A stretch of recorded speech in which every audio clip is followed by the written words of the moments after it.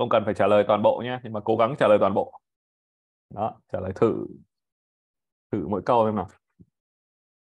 Ý là mỗi người một câu hay là mỗi người trả lời mỗi toàn người bộ? mỗi người trả lời toàn bộ chứ. Ồ. Chỉ trả lời trong một câu thôi. Cái bộc phát trong đầu nó assumption bộc phát trong đầu. Em nhận định hiện tại. Mình có phát triển đến đâu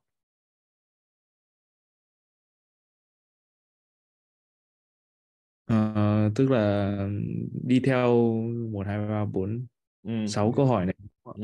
đi theo Ừ, trình tự luôn câu một ừ. ừ. đầu tiên là sense of organization cảm nhận về tổ chức này Ờ, framework of relationship là mối quan hệ giữa các thành viên đúng không ạ Ừ. thì ờ, thì bây giờ em em sẽ đưa ra nhận xét ạ hay là đưa Ừ. ra em đưa ra cảm nhận của em thôi assumption của em thôi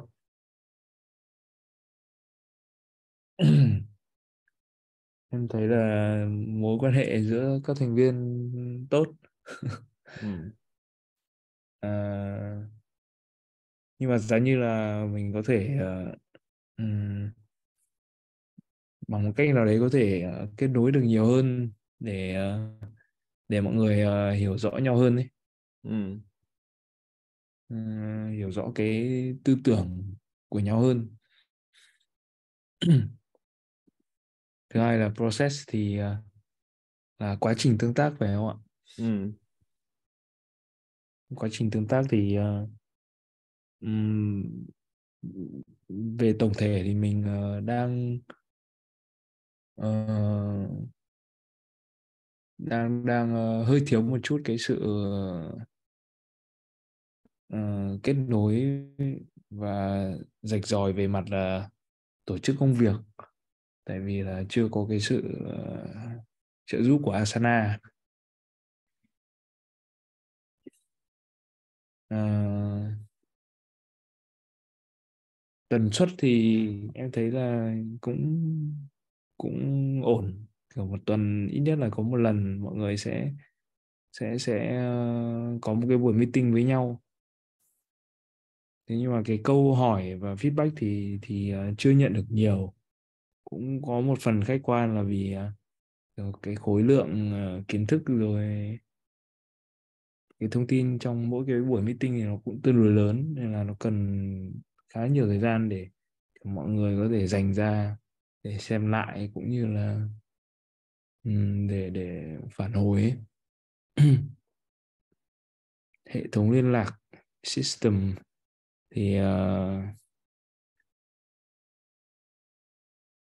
uh, hiện giờ thì mình cũng thông qua qua Google Drive và và Messenger Facebook là chủ yếu Đấy, có những cái bạn khác thì uh, những cái buổi meeting thì sẽ nhận được thông báo Ờ, qua qua Gmail. Trong quá trình vừa qua thì em cũng cũng cũng uh, cũng nhận thấy là cái phần thông báo đấy mình sẽ chỉnh sửa một chút để kiểu highlight nó lên. Hai nữa là xét ra cái cái lịch. Ví dụ thứ ba mình gặp mặt thì mình gửi vào vào sáng chủ nhật chẳng hạn thì mọi người sẽ có trước hai ngày ngày chủ nhật và ngày thứ hai để để để ờ, để xem trước cái nội dung hoặc là xem lại buổi hôm trước chẳng hạn. Đấy. Thì nó yêu cầu là ờ, ví dụ anh Tuấn sẽ phải gửi slide trong thứ bảy. Thì theo em thì cái hệ thống liên lạc thì mình sẽ sẽ sẽ ừ, làm rõ cái cái thời gian uh, ra như thế. Còn hiện giờ thì ít nhất là mỗi thứ hai thì đã có cái uh, buổi trao đổi của con team vào thứ thứ ba thì mình làm meeting này rồi. Group of persons hoạt động giữa các nhóm. Hiện giờ thì em thì phụ trách ờ, ban vận hành thì em thấy là trong ban vận hành thì ok ổn. Ờ, bên chỗ nature Việt thì cũng cũng tích cực. Bên chỗ pháp lý thì em cũng chưa nắm được nhiều lắm thì uh, thì sắp tới sẽ sẽ update thêm ở bên pháp lý xem là hiện giờ mọi thứ đang đang đến đâu rồi hmm. Đấy là hết câu thứ nhất anh ạ. Ừ. Tiếp tục đi, Tiếp tục anh. Tiếp tục đi. Hay sao? Em cổ mỗi người một câu. Đấy, em thấy kiểu em nói hết thì nó cũng sợ là hơi mất thời gian của mọi người. Yeah. Mọi người năm người nữa chưa được nói. Vậy thôi. Thế thì cảm ơn Tân Mời nhất. anh. Mỗi người một câu. Mời Yến. Yến còn đây không? Mình trả lời câu thứ hai. Em có ạ. Ừ.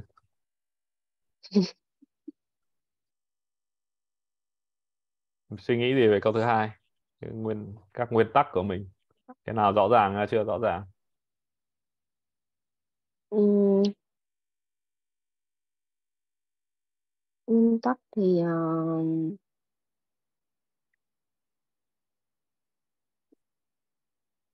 em thể nói không dựa theo đấy mà nói theo Ừ. Em phải nói theo ý hiểu của em. em, không sao. Em thấy đầu tiên thì ờ, nguyên tắc thì dựa uh, đây tổ chức thiện nguyện nên là nó dựa theo nguyên tắc ừ, tự của các người tham gia là nguyên tắc tự nguyện ạ. Và cái đấy có thể nhân rộng được. Ừm, tổ chức này thì cũng phải có một nguyên tắc nữa là nguyên tắc đoàn kết.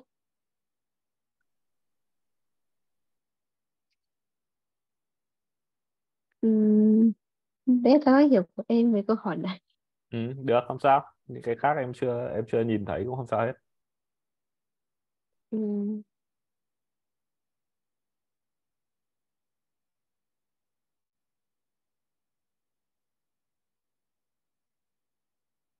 Thôi em sẽ trả lời câu tiếp theo.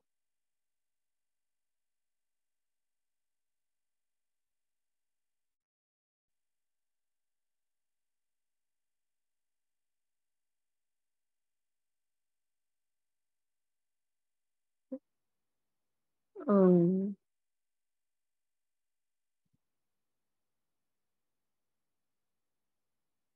tổ chức hoạt động thì em nghĩ là tổ chức đang ờ, chia thành các nhóm và cũng có các ờ, theo mô hình kết nối á Mình cũng tham khảo thêm những các tổ chức khác và kết nối với ờ, từng cá nhân và cả tổ chức.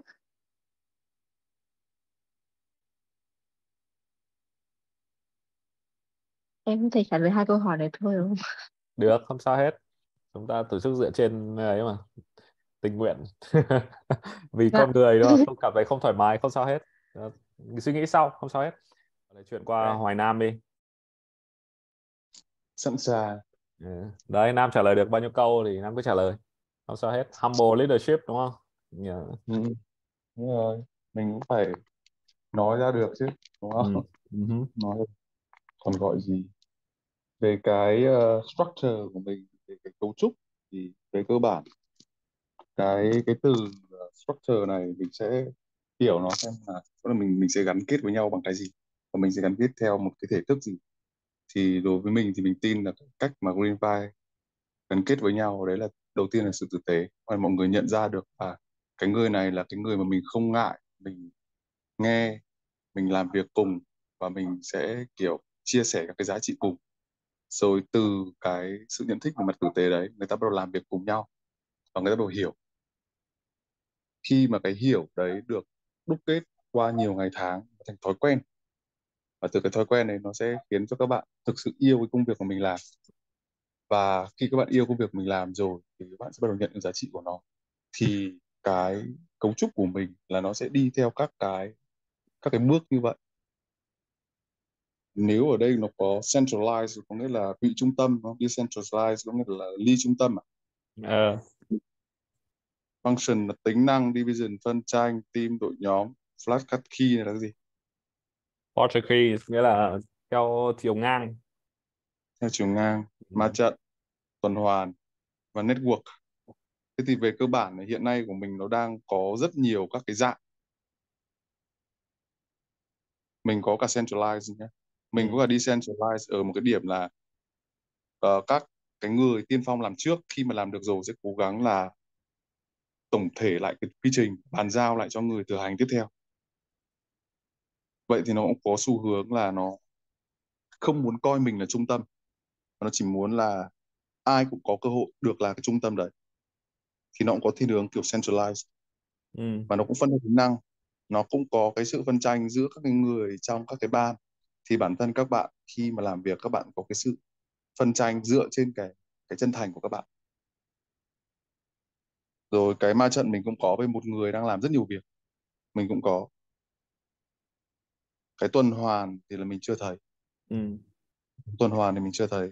Cái network thì là có sơ đẳng rồi nhưng về mặt bản chất thì những cái mình mong muốn với cái cái network của Winify nó nó cao cấp hơn. Đó là mọi người sẽ có một cái nền tảng giám sát hay là chia sẻ, tư tưởng, công việc, tầm nhìn. Để cho không chỉ những cái người ở trong cuộc, những người ngoài cuộc cũng hiểu được rằng mình là một khối. Đây là một cái network riêng. Thì nếu mà để trả lời, tóm gọn lại cái câu hỏi, cấu trúc của chúng ta là gì thì cấu trúc của mình nó sẽ linh hoạt. Và đồng thời thì nó cũng có một cái khung là các bạn hiểu, các bạn yêu, các bạn đón nhận giá trị. Và thông qua quá trình đấy thì mình sẽ gắn kết với nhau càng ngày càng bền hơn. Cái phương pháp tiếp cận về lý luận của mình thì về cơ bản nó cũng có nằm trong tất cả các cái khái niệm này. Mình có những cái tư tưởng rất là cổ điển. Mình có những tư tưởng rất mới, rất hiện đại để mình nhận thức rõ ràng các vấn đề của thời đại. Mình có tư tưởng mở bởi mình sẵn sàng tiếp nhận và được đồng hóa với cả các cái hệ tư tưởng lớn. Ví dụ như mình cũng muốn chia sẻ được tầm nhìn với cả bên viện nhân học mình muốn chia sẻ tầm nhìn với cả các cái nhà hảo tâm hiện nay đang đi xây cầu hay là xây các trường học ở vùng cao. Và mình cũng đồng thời mình cũng truyền động lực cho những cái bên đó để họ làm các cái sự kiện hay là mình họ, họ làm trên một tinh thần phi vụ lợi và có cái tính vị cộng đồng cao hơn. Vậy thì các cái ờ, cái cái cách phương pháp tiếp cận của mình lý luận của mình hiện nay nó đang rất rất đa dạng cái cách mà để chúng ta xây dựng văn hóa học tập ở trong tổ chức. Thì về cơ bản là hiện nay Tuấn đang phụ trách cái bình dương học vụ và các bạn đang được học. Bản thân cả mình cũng đang được học lại về phát triển bền vững học thêm về kỹ năng mềm phục phát triển bền vững và phát triển lại cái tư tư duy bản luận triết học của mình. Thì thông qua quá trình học này bắt đầu thực hành thông qua các cái trải nghiệm, các buổi tọa đàm, các cái chương trình podcast hay là phối kết hợp với bên cô song nga để xây dựng các cái chương trình hướng đạo sinh sinh tồn chẳng hạn. Rồi mình sẽ nhận ra là mình vẫn còn thiếu sót bởi vì trong quá trình mình làm ví dụ như là lần năm làm cái uh, công trình nhà kính chẳng hạn hay là năm lên thiết kế của cái khu sống trải nghiệm chẳng hạn thì năm nhận ra là mình vẫn còn rất nhiều thiếu sót. Và bởi vì mình nhận ra một điều như vậy và mình vẫn muốn được cống hiến với cộng đồng tốt hơn thì mình sẵn sàng mình học. Nó là một cái vòng tròn cái vòng tròn đấy nó sẽ là các bạn học, các bạn hành và các bạn bắt đầu thực chứng. Mình nhận ra là mình chưa hoàn hảo, còn thiếu sót thì quá tốt.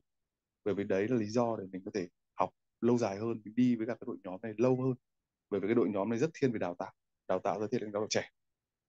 Thì chừng nào mà mình còn ở cùng với cả cái đội nhóm này thì mình còn có cơ hội được học, mình còn cơ hội được tốt hơn và có khả năng cống hiến tốt hơn cho mọi người, cho cộng đồng. Đấy, thì đấy là ba cái ý mà nam muốn trả lời ba câu hỏi. Bốn câu nhỉ? Bốn câu. Ok cảm ơn nam. Thương. Thương uh, đấy giờ on off em trả lời được bao nhiêu câu trong này Thương?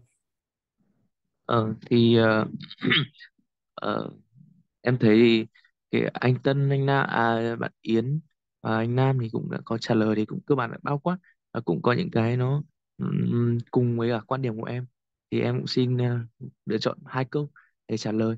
Thì đầu tiên là về nguyên tắc hoạt động của mình ấy, thì theo em cảm nhận được thì ừm, nếu mà về tính tập thể thì chúng ta đang hoạt động theo cái nguyên tắc là đặt ra mục tiêu, cái objective thì là chúng ta có những cái mục tiêu rất là rõ ràng, có những cái định ừm, định hướng nghĩa là đối với từng thời gian từng thời điểm thì chúng ta có những cái mục tiêu và có cái lộ trình để phát triển. Thì theo em thì cái nguyên tắc hoạt động về về tổng thể chúng ta đang đi theo hướng mục tiêu. Và còn về cá nhân thì ừ, có th thì bây giờ em đang cảm giác giống như là chúng ta đang hoạt động theo cái cái nguyên tắc quyền hạn và trách nhiệm. Thì mỗi người thì người ta vào tổ chức này thì chúng ta đều nhận thấy cái trách nhiệm của mình đến đâu. Và tham gia vào những cái, cái ban nào thì đều sẽ có những cái gọi là công cụ chính là cái quyền hạn của mình để mình tham gia vào cái tổ chức đấy.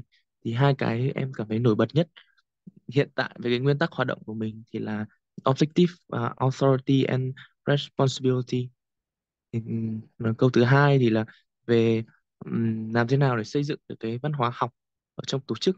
Thì em cũng rất là đồng tình với anh Nam. Nhưng em xin bổ sung thêm một ý, ý nữa nho nhỏ thôi. Có nghĩa là để xây dựng được văn hóa học thì có thể là uh, chúng ta cũng nên biết được là um, mỗi thành viên trong tổ chức thì mình biết được là mình cần phải học những cái gì. Và ừ, cũng có những cái sự chia sẻ về tổ chức với các anh trong ban cố vấn. Ừ, giống như cách mà ngày trước em cũng đã chia sẻ với anh Nam, thì mình sẽ chia sẻ là mong muốn, mình muốn làm được gì và muốn học được gì. Thì từ cái đấy thì chúng ta có thể sắp xếp được những cái chương trình trong bình dân học vụ để thỏa mãn những cái yêu cầu đấy trong trong cái phạm vi cho phép. Thì thì đấy cũng là một cái cách ừ, thỏa mãn được yêu cầu, nó cũng chính là cái cách để xây dựng cái văn hóa học trong trong trong tổ chức của mình. Thì em có ý kiến hai hai câu hỏi đấy. À, ờ, đối với hai câu hỏi đấy thì em xin góp cái ý kiến nhỏ nhỏ của mình. Rồi ok. Được. Cảm ơn thương.